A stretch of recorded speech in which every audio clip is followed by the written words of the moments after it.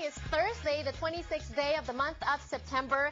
In just a few days, we're going to be entering the last quarter of the year. How time flies. And speaking of October, if you're watching us on Kiku Network, I'd like all of you to come out. I want to meet you. I will be in Hawaii for the formal launch and press conference of Kababayan Today on Kiku. That will be on October 3rd at the Philippine Consulate in Honolulu. Also, October 4th and October 5th, I will be at the Philcom Center. So please keep watching Kababayan Today as we give you more details on that trip to Hawaii. And please come out. I want to see all of you. So aloha and mahalo. I can't wait to be with you there in Hawaii. Meanwhile, back here in Southern California, last Sunday, we finished the celebration of Harvest Moon Festival. Taon-taon po ginaganap ang ating selebrasyon.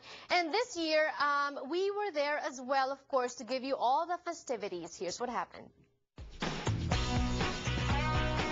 California Toyota takes us around town in Los Angeles on Kababayan Today. Mga papremyo kabilang na ang brand new car at $1,500 in cash prizes. First name is Cynthia. Cynthia? Cynthia. Cynthia Castro. Cynthia Castro.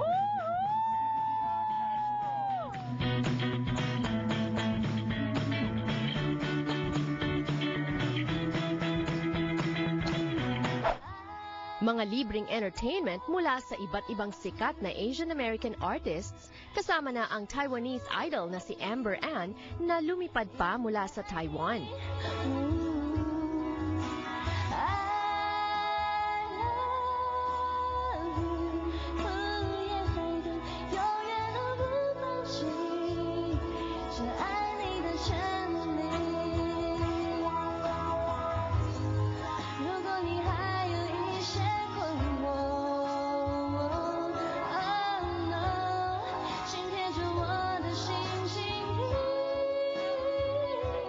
Mga makukulay na pagtatanghal mula sa iba't ibang cultural performers.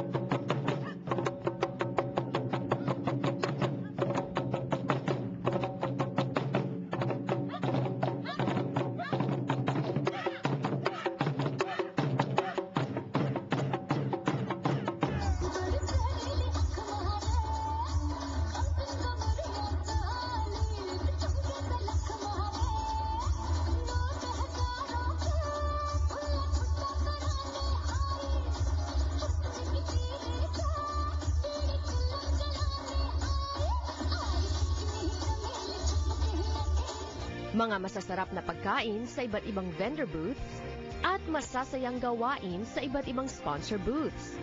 Ito ang mga samot-saring kaganapan nitong nakaraang linggo sa Harvest Moon Festival ng LA18.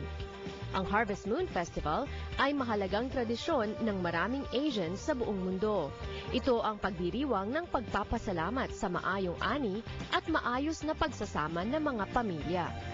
Tinatayang 40,000 ang mga dumalo sa pagtitipon sa Arcadia County Park sa taunang Harvest Moon Festival ng LA18. Kabilang sa mga nakisaya at nakibahagi ang sikat na kababayan singer-songwriter na si Jeremy Passion na kumanta para sa kanyang mga fans.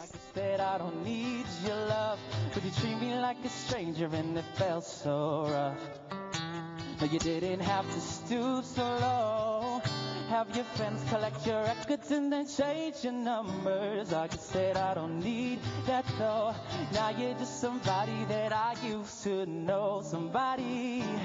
Hey. Ito ang ikalabing walong pagtatanghal ng Harvest Moon Festival ng LA18. Kami ay nagpapasalamat sa mga sponsors at performers at higit sa lahat sa inyong mga dumalo at nagtipon-tipon upang maging matagumpay ang nasamig event.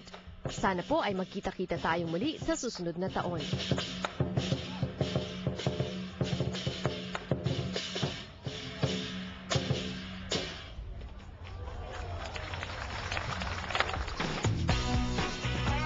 Southern California Toyota takes us around town in Los Angeles on Kababayan Today.